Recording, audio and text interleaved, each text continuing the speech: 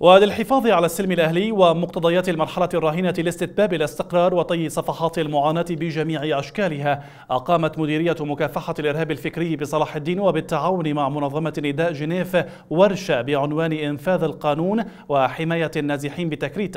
وتهدف إلى مناقشة وحل الإشكالات التي تقف بوجه عودة الكثير من الأسر النازحة لمناطق سكنها الأصلية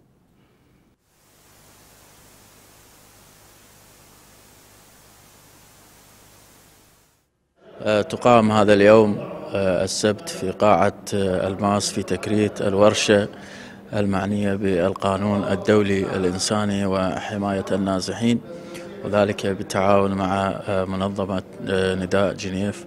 حقيقة مديرية مكافحة الإرهاب الفكري في محافظة صلاح الدين تسعى دائما إلى معالجة بعض المشاكل وترطيب الأجواء ما بين القوات الموجودة في صلاح الدين. واليوم نستضيف في مدينة تكريت اللواء الواحد والأربعين في هيئة الحشد الشعبي في قيادة عمليات صلاح الدين آه، وهو آه، اللواء آه، الذي يقوم بمسك الأرض وحماية ومن واجباته مناطق يثرب وغيرها هذه المناطق التي شهدت اليوم بفضل الله سبحانه وتعالى أمنا وأمانا ونسعى أيضا إلى مناقشة بعض المعوقات التي تحول دون عودة بعض العوائل آه، من أهلنا النازحين في تلك المناطق. حقيقة كان آه، اللقاء مثمر وكانت آه، النقاشات في هذا الموضوع حقيقة نقاشات